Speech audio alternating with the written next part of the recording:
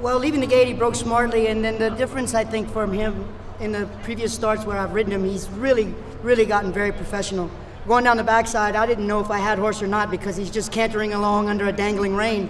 Um, I picked a spot around the apex of the turn and thought with his turn of foot I could beat the horse that was in front of me on the outside to the pocket, and sure enough, I picked up the lines, kissed at him, tapped him on the shoulder, and he had me there in two strides.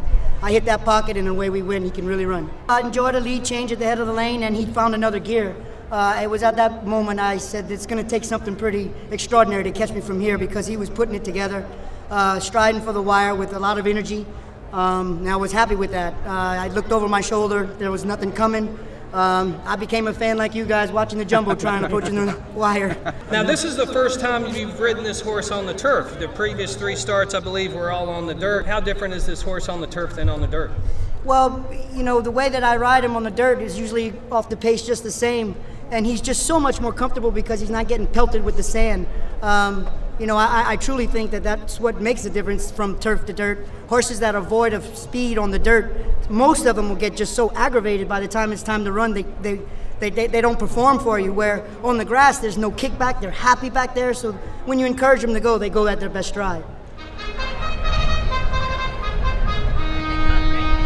The first thing I want to do is thank Colonial Downs for putting on this great race. We were here four years ago, and I knew I wanted to bring Paddy O'Prado back because of the great treatment everyone gets here. And the second thing I want to say is, if you want to big, win big races, hire Dale Romans to pick horses and train for you, and putting Kent Desormeaux on their back's not a bad decision either.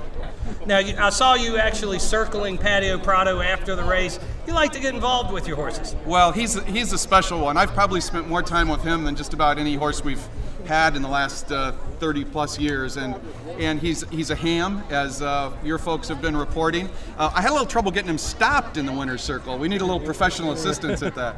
Talk about just uh, going through the Triple Crown.